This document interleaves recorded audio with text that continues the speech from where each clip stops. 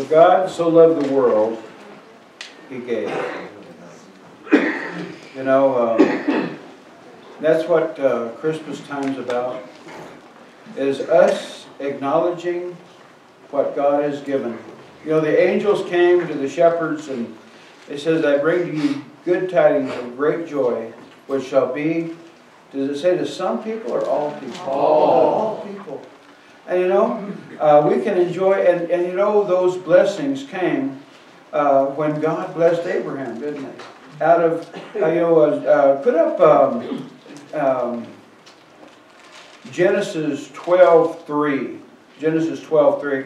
And I think this is important to understand because uh, God said uh, to Abraham when he when he called him, and Abraham, you know, he was, uh, uh, you know, he, he was called over to the land of Israel, and and God said, "I will bless them that bless thee, and curse him that curseth thee, and in thee shall all families of the earth be blessed."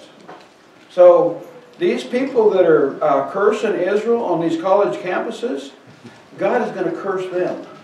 Okay, I'm just letting you know. Because, it, because the Word says He is. And so uh, uh, we need to uh, acknowledge Israel.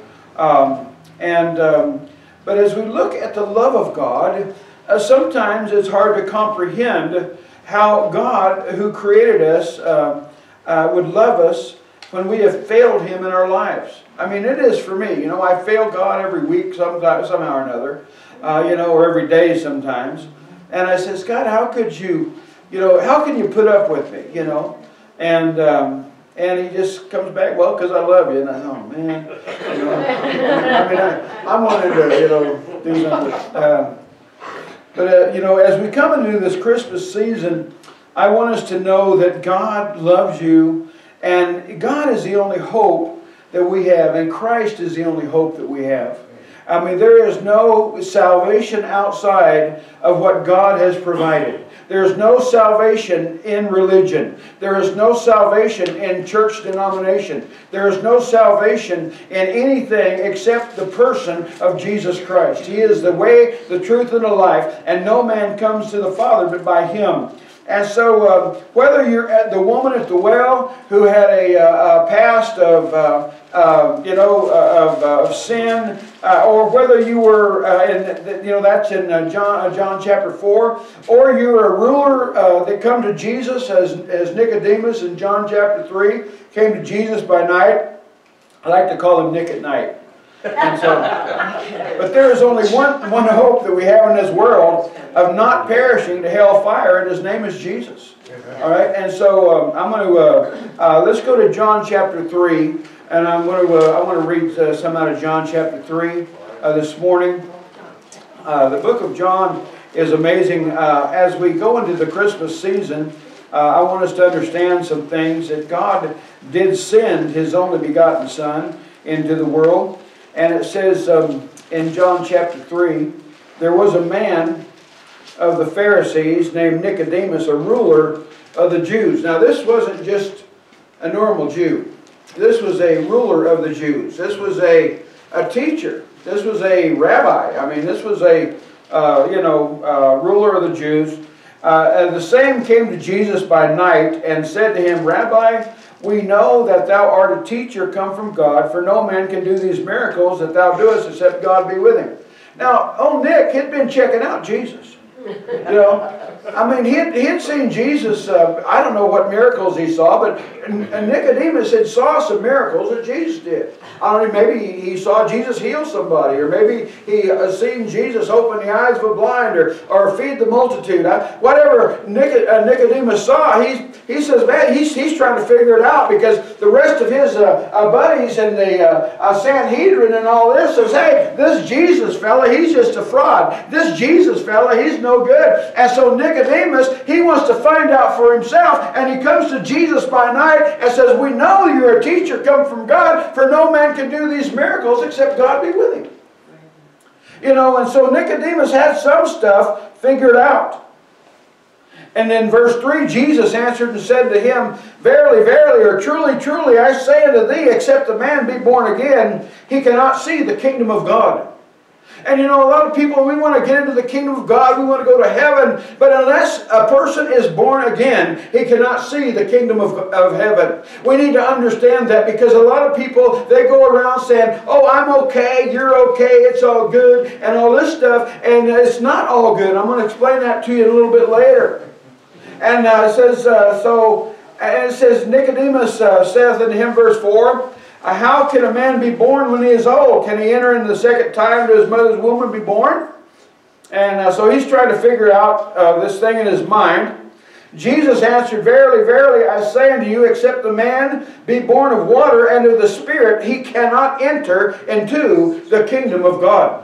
In order for you to enter into the king of, uh, kingdom of God, you have to be born into God's kingdom. You have to be born again into God's kingdom. And when you become born again into God's kingdom, we can pray, Our Father, which art in heaven, hallowed be thy name. Amen. Thy kingdom come, thy will be done on earth as it is in heaven. You see, because we are born into the kingdom of God. It says in verse 6, Jesus said this, That which is born of the flesh is flesh, and that which is born of the Spirit is Spirit. And I want to just proclaim right here that that verse has delivered my soul from a lot of uh, torment because, you know, I'd be uh, in the flesh and, and you know, Jesus uh, would, would uh, bring this verse to mind. Whatever is born of the uh, flesh is flesh, and whatever is born of the Spirit is Spirit. And, you know, uh, the flesh cannot take away from the Spirit. Amen? Amen. When we are in the Spirit of God, God, we are saved, we are born again, and, and, you know, the devil can't can't do nothing about it, and the flesh can't do nothing about it, right? Now, the flesh can uh, misbehave. Okay, I'm going to go. got quiet.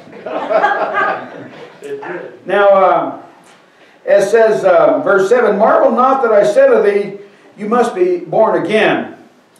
The wind bloweth where it listeth, and and thou hearest the sound thereof, but canst not tell whence it cometh and whither it goeth. So is everyone that is born of the Spirit. Now that's a question you can ask the smart boys. Where does the wind come from? Where does it go? I don't know. All right. Verse 9, Nicodemus answered and said to him, How can these things be? He's trying to figure this out. How can these things be? And Jesus answered and said to him, Art thou a master of Israel? And knowest not these things? How many preachers, how many teachers do we have in churches that do not know the Spirit of God? They don't know that God has to be inside of them. They don't know that they need to be born again. Then verse 11, Verily, verily, I say unto thee, we speak. And I want you to notice the pronoun here. I know we have a lot of things about pronouns nowadays. Verily, verily, I say unto thee, we speak that we do know and testify what we have seen, and you receive not our witness. Who's Jesus talking to? We and our. He's talking about him and the Father. Right? Look at it. You don't receive our witness. So Jesus and the Father were one. But uh, you don't receive our witness, and you know, the Holy Spirit is in there too. You don't receive the, the witness of the Spirit. You're not receiving the testimony of Jesus. You're not receiving the drawing of the Father. It says in verse 12, If I have told you earthly things and you believe not, how shall you believe if I tell you heavenly things? That's right. Yes. Man. And no man hath ascended up to heaven, but he that came down from heaven, even the Son of Man which is in heaven. He said, man, I, you know, he, Jesus told him where he came from. He came from heaven. No man ascended up to heaven, but I came from heaven. Verse 14, and, Mo, and as Moses lifted up the serpent in the wilderness, even so must the Son of Man be lifted up. Now, that's kind of a strange verse in the midst of all this. I'm going to explain that to you in a minute. Verse 15, and whatsoever and, and whosoever believeth in him should not perish but have eternal life. For God so loved the world that he gave his only begotten Son, that whosoever believeth in him should not perish but have everlasting life. For God sent not his Son into the world to condemn the world, but that the world through him might be saved. He didn't come to condemn us because why? Because we're condemned already. It says in verse seven, uh, 18, He that believeth on him is not condemned, but he that believeth not is condemned already. There it is, because he hath not believed in the name of the only begotten Son of God. There's only one way you can get saved, folks. That's through Jesus. Amen. Verse 19, and this is the condemnation that light is coming to the world, and that men love darkness rather than light because their deeds were evil. For everyone that doeth evil hateth the light, neither cometh to the light, lest his deeds should be reproved. But he that doeth truth cometh to the light, and his deeds may be made manifest, that they are wrought in God. Let's go, Lord, in prayer, Lord. I just pray, Father God, that, Lord, we'd get this inside of us today, in Jesus' name.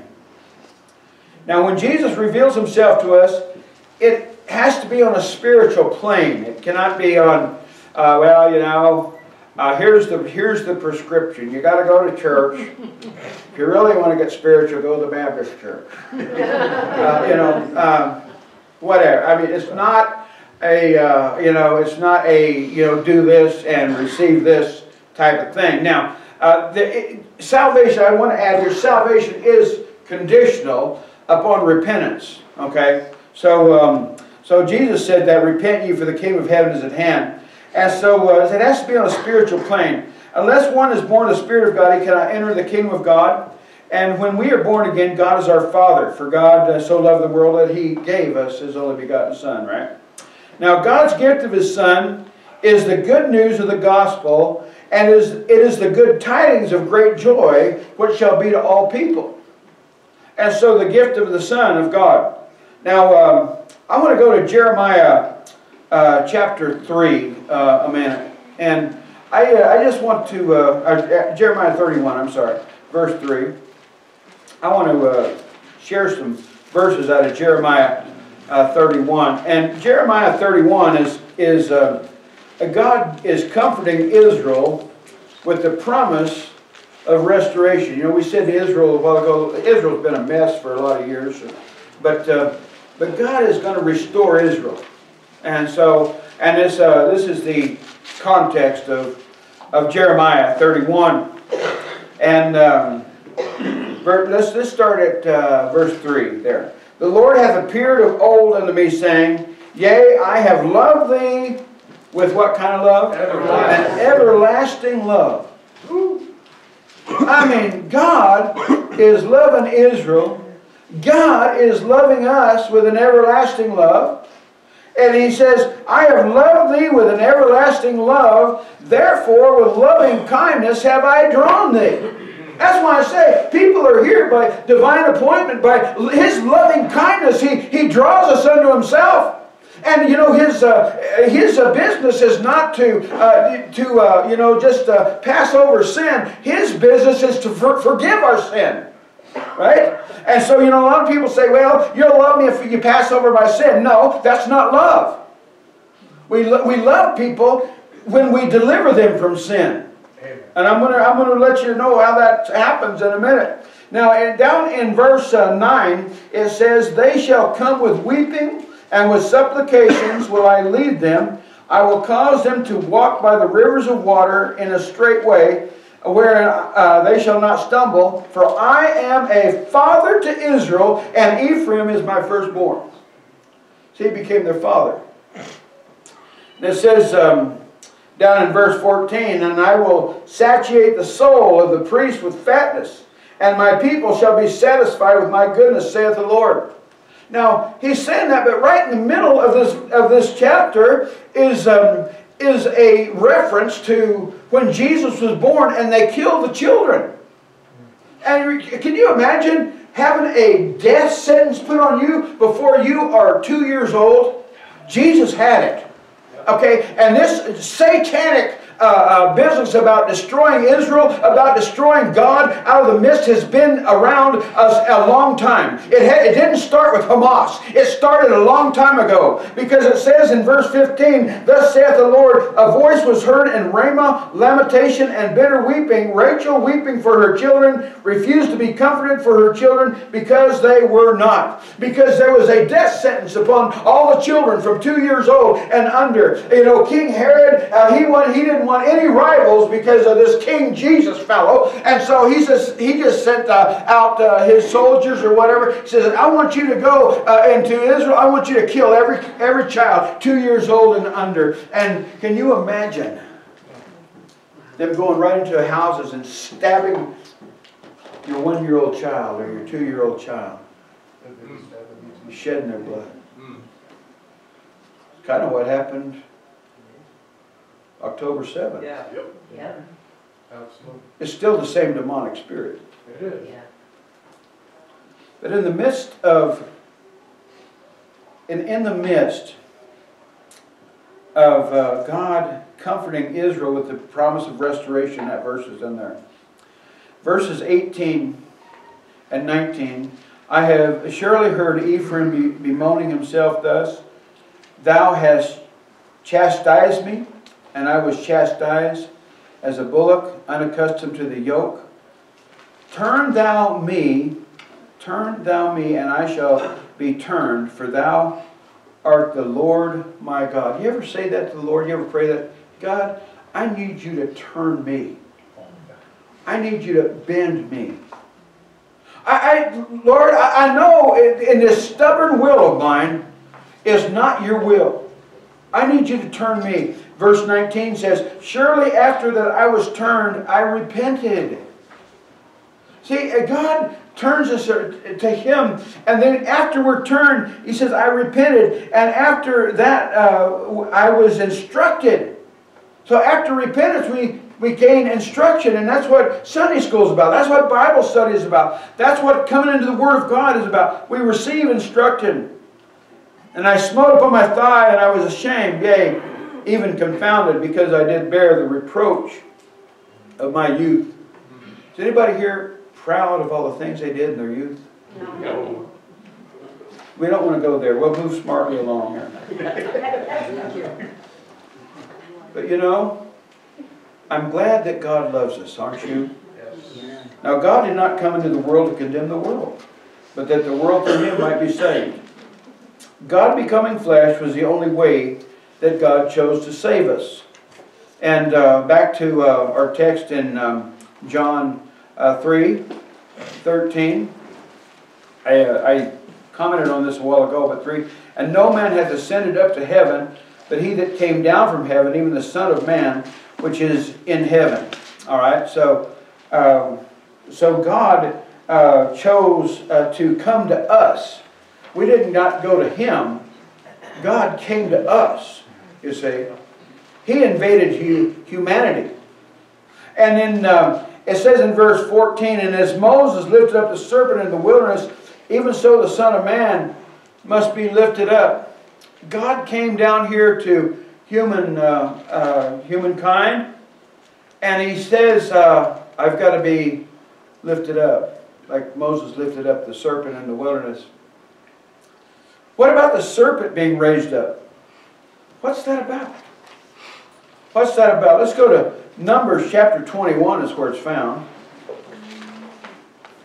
Numbers chapter 21. And they, uh, this was the children of Israel. And maybe some of us are like the children of Israel today. Maybe we're discouraged in our soul. That's how children of Israel were. Verse 4 it says, And they journeyed from Mount Hor by the way of the Red Sea and to compass the land of Edom.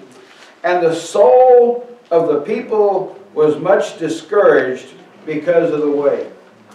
Is your soul ever discouraged because the way God is leading you? Sometimes we get discouraged.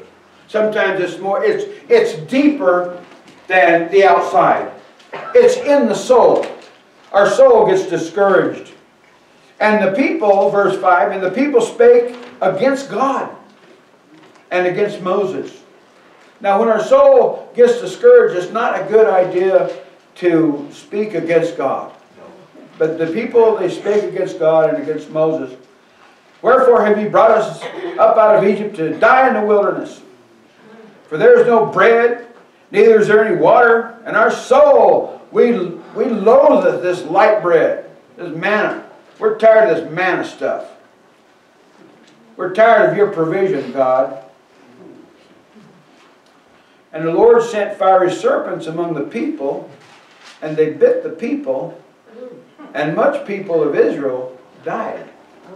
Now, everybody here's got a snake story of some kind.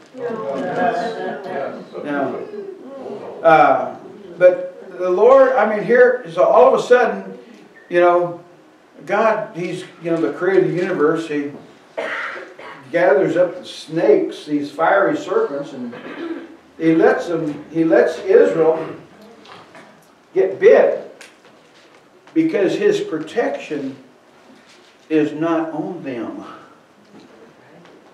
And a lot of people in today's world, they think that God's protection is on them because they had a godly grandmother or they live in the United States. They think God's protection is on them and they can sin all they want and still make it into heaven. That's not true. God sent the fiery serpents into Israel and they bit them. now, um, in verse 7, therefore the people came to Moses and said, We have sinned, for we have spoken against the Lord and against thee. Man, we're, we're in trouble here. Pray unto the Lord that he take away the serpents from us. And Moses prayed for the people. And the Lord said to Moses, Make thee a, a fiery serpent, and set it upon a pole, and it shall come to pass that everyone that is bitten, when he looketh upon it, shall live. So the Lord said, Okay, I want you to make a fiery serpent out of brass, you know, this brass snake, put it on a pole, and lift it up, and when the people look on it, they can be healed. And um, in verse 9, and Moses made a serpent of brass, and he put it upon a pole, and it came to pass, if the serp if the, a serpent had bitten any man, when he beheld the serpent of brass, he lived. Now we know what the poison of the serpent is, don't we? It's called sin. All right? Now, the reason that God sent the serpents was because of ingratitude and complaining. Now, we don't ever complain, do we? Sin was in the camp. Every one of us has sometimes have been guilty of ingratitude and murmuring or complaining. I remember when I was working in the oil fields, we'd tell each other that we had two rights, complaining and quitting. Now, we called it a different word besides complaining, but anyway. Now, we, uh, we will give ourselves permission to complain from time to time, and somehow it, it makes us think that we have that right when we complain. And you know, sometimes we complain against God. God, why didn't, you know, why don't you make this person behave, you know, or something. That's what Gene prays about me, you know. Uh, now, and I'm glad Jesus did not complain to God about us, but prayed for us instead. The only hope any of us have is when, is when we go and look upon the Son of God on Calvary's cross. That's the only cure for the snake bite. That's the only cure for sin. If we do not come and behold the Son of God, we will die in our sins. You are outside the protection of God for your soul. Now, God calls us out of love towards us, right? Everyone here is because God loves you. Now, let me just say right here true love is not overlooking sin, true love is rescuing people out of it. I'll say that again. True love is not overlooking sin. True love is rescuing people out of it. Can you imagine the evangelism that took place in the wilderness as the people that were snake bit were told of the only cure? Hey, I, I heard, uh, uh, you know, uh, uh this guy, he, he went over and, and Moses, uh, you know, uh, set up this serpent in the wilderness and if you go look on it, you can be cured of your snake bite. Can you imagine somebody saying to the snake bit person, I'm okay, you're okay? it's all good. No! People are dying and going to hell. People are dying in their sin. And we have the only cure. His name is Jesus. Amen. True love is not overlooking sin. True love is rescuing people out of it. Right. And we, if we, if we, if we will understand that, that, that uh, people need a cure for their snake bite, people need a cure for their sin, people need a cure, and the only cure is the, the, the Christ uh, on Calvary's cross. He told Nicodemus as the, Moses lifted up the snake in the wilderness, so must the Son of Man be lifted up. See, Jesus so loved us that he paid the penalty and took the punishment for our sin so he could save us from destruction. Now, this morning,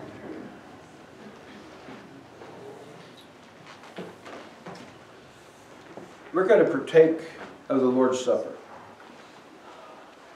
The Lord's Supper is symbolic of the shed blood and the broken body of Jesus.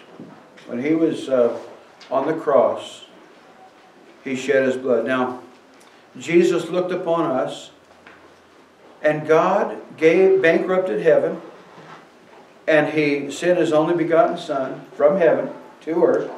Says it in John chapter 3. He sent his only begotten Son, and his Son came here for the purpose of God to cure us of sin, cure us of the snake bite.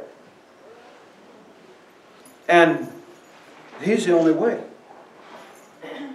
He's the only provision, just like the serpent in the wilderness. He was, they were, there was only provision. There had already been some people died in Israel. The serpent was the only provision do you know, later on, Hezekiah had to, the king had to destroy that serpent because Israel had made a, idol out of it. He had to destroy that serpent. And you know, people make idols out of the cross. They make idols out of everything today. And the cross was a shameful uh, you know, form of death. I mean, did you know it was illegal to crucify a Roman citizen? Yeah, yeah, it was too hideous of a death. And at the cross, God took all of our sin and placed it on Jesus. And then he took Jesus and gave him to us. And I think God got ripped off. But that, that is the love of God and if, and if you can explain it, you get up here and explain it, because I can't. Amen. I can't explain the love of God. See, God isn't going to pacify sin. But I'll tell you this, God will forgive it. Because of Jesus. God will forgive it because He's the only way, the truth, and the life, and no man comes to the Father but by Him. And this morning I want us to examine our hearts. This morning I want us to, uh, to look at um, look inside of ourselves. And uh, do I dare say I want us to judge ourselves? Let's see what the Word says. I'm going to go to 1 Corinthians chapter 11, verse 23. It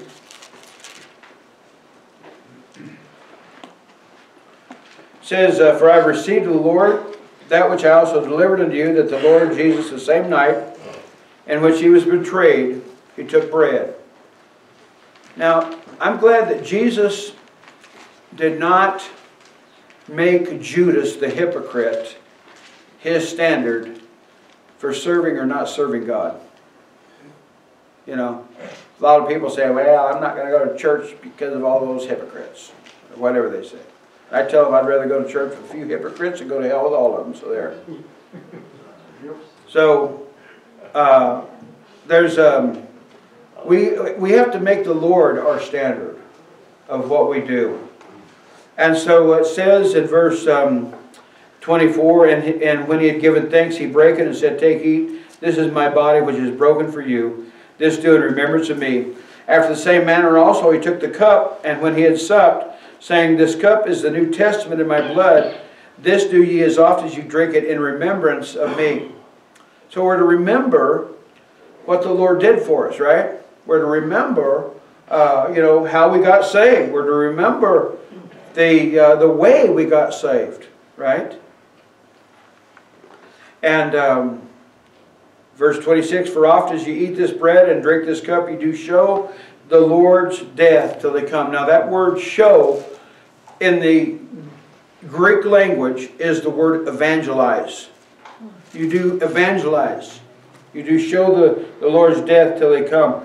Because um, that's the only way somebody can get saved is if they come and behold the cross and the penalty for their sin.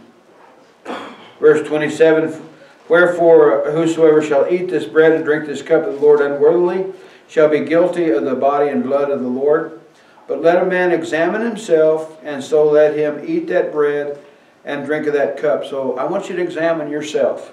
I'm not going to examine you. You, you look inside your soul and you examine yourself. And uh, let it. And so, uh, verse 29: For he that eateth and drinketh unworthily eateth and drinketh damnation to himself, not discerning the Lord's body. For this cause many are weak and sickly among you, and many sleep. For if you would, for if we would judge ourselves, there it is. Everybody says we need to judge ourselves. For if we would judge ourselves, um, for if we would judge ourselves, we should not be judged. But when, when we are judged, we are chastened of the Lord, that we should not be condemned with the world. All right? So, um, I want us to take just a minute, bow our heads and close our eyes. And I, I just want to, want to ask you a couple questions. Is there something in your life, and I'm, I'm, I'm doing the same thing here in my life. There's things in my life where I need to repent of. There's things in my life that, you know, I've done that, I mean, you don't even want to hear about my youth. I mean, it's crazy. But you know, there's forgiveness with God. There's love with God.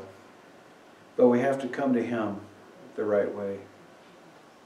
One thing that we need to do, understand, is if we need to forgive somebody, we need to go to that person and forgive them. Or if we need to, if we've done wrong, we need to ask for forgiveness and then come to God. I don't want you partaking of the Lord's Supper unworthily and drinking and eating damnation to yourself. It says, For this cause many are weak and sickly among you, and many and many sleep. Now that word sleep is you've, you've died. You went to you went to sleep for the last time. And so uh, there's a cause, uh, an effect on it. So uh, let's, let's just uh, confess before the Lord. Let's uh, get right with God uh, as we as we come to Him and are before Him. Father, we just call upon Your name. Lord, there's so many things in my life that that I've done and, and do, Lord, that are not pleasing to you. And Lord, I just pray, Father, you'd forgive me of those things. I pray that, Lord, you'd um, come into uh, our lives, Lord. I pray, Father God, that you'd forgive us.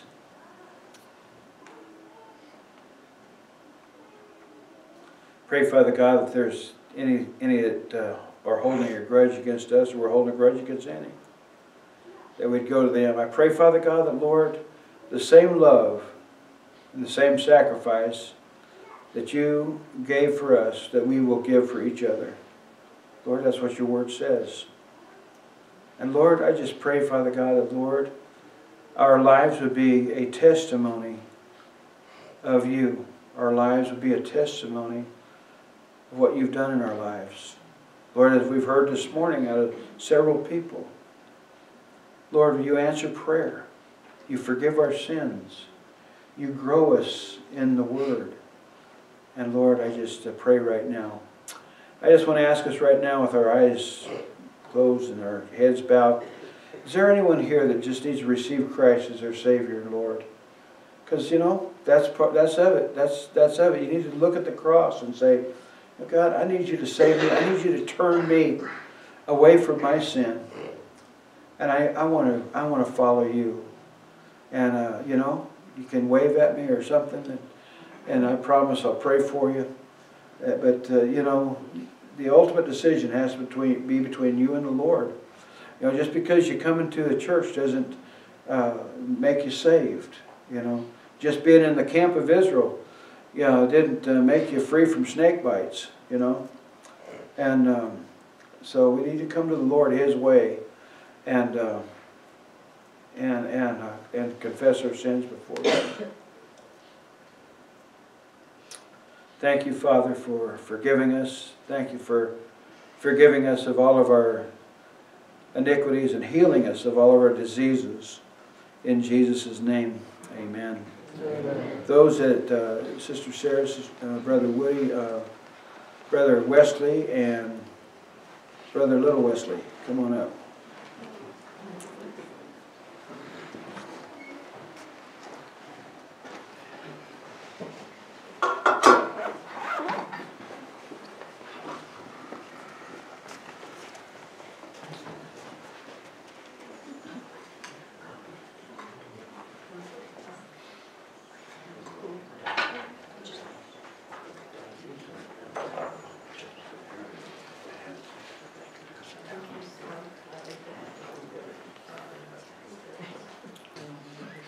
Jesus paid it all. Go ahead and hand that out.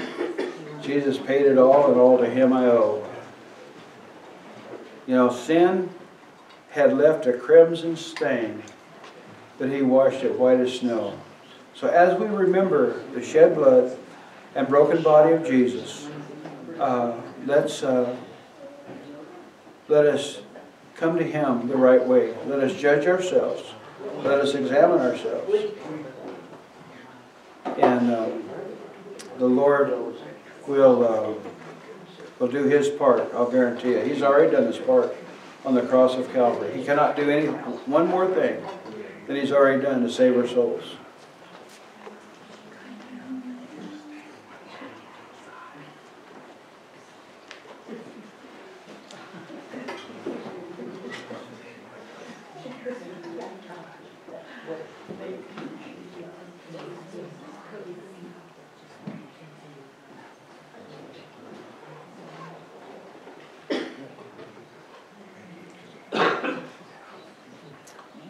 On Christmas Eve, we're going to have a candlelight communion service here at Fernley First Baptist Church. And, you know, the reason why we have special services, um, like candlelight communion or something like that, there's some people that'll come to those that won't come to church normally. And um, I use it for an excuse to preach the gospel to people that I don't normally get to preach to. You know. And um, because it's the gospel message that can change our life. It's the gospel message that is the power of God unto salvation to everyone who believes, the Word of God says.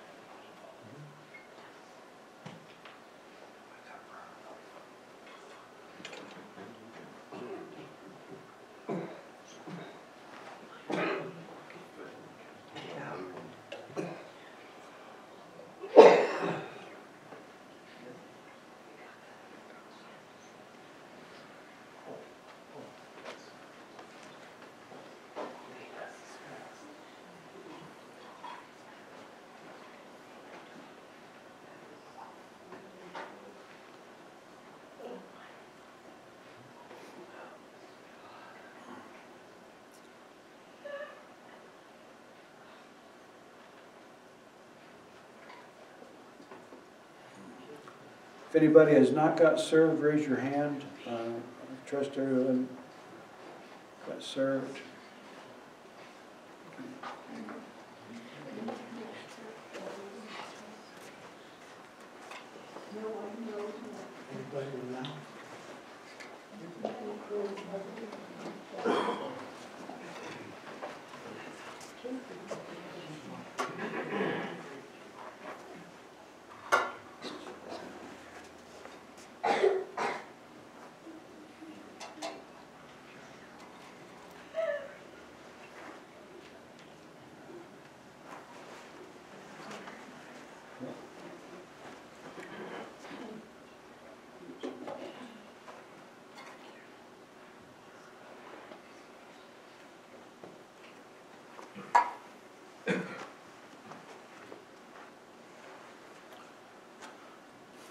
On the same night he was betrayed. Can you imagine that?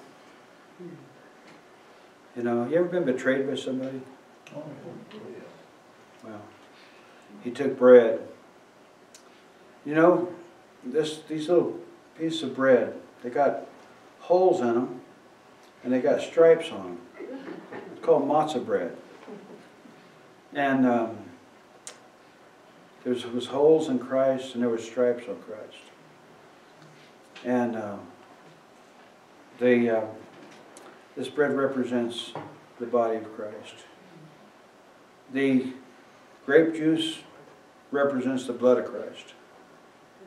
And uh, the only way we can be saved is by the broken body and the shed blood of Jesus Christ. He took bread, he says, Take, eat, this is my body, which is broken for you. And uh, Brother Woody, would you bless the bread?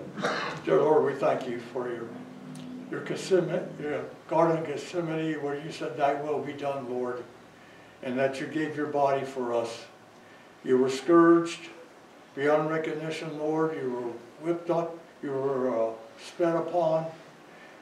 The Bible says that your beard was plucked out from your face, and you endured all that just for us, Lord, and we thank you for that.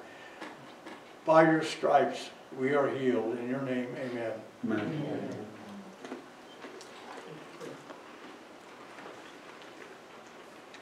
Now this uh, grape juice all came out of the same bottle.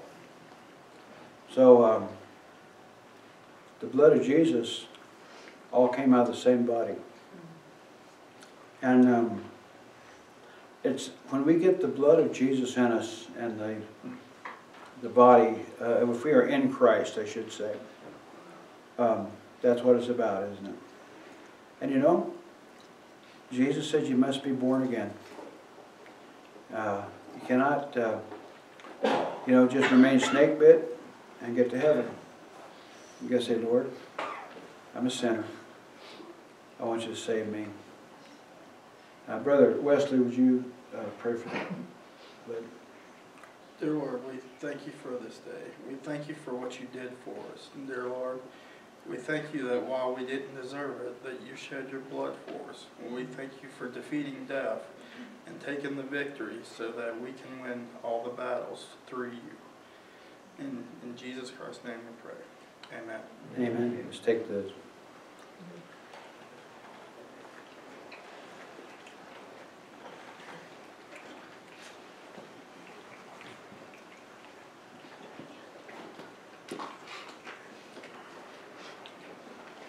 when we serve each other. Now, there's decisions that can be made, public decisions of salvation, following Lord in baptism, uh, church membership, those things, those types of things.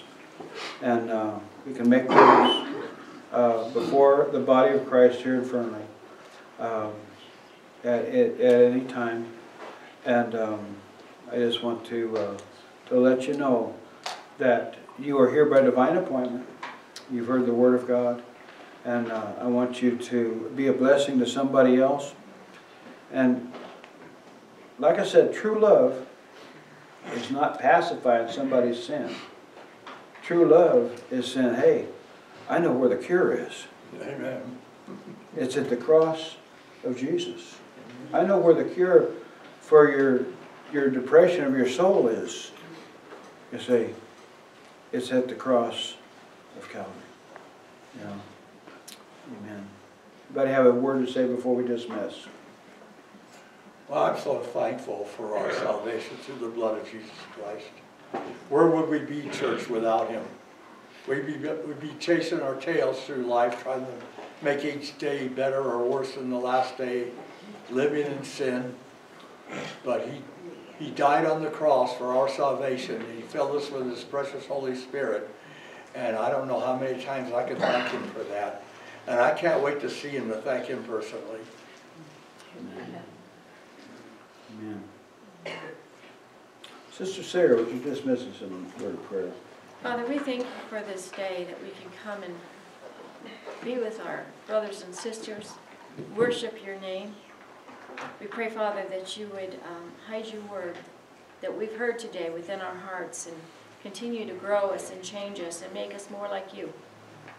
Pray, Father, that you would go with each member as we leave here today and that, Lord, your Spirit would go through us and, and uh, reach out into a dark and dying world. We thank you for the blood of Jesus.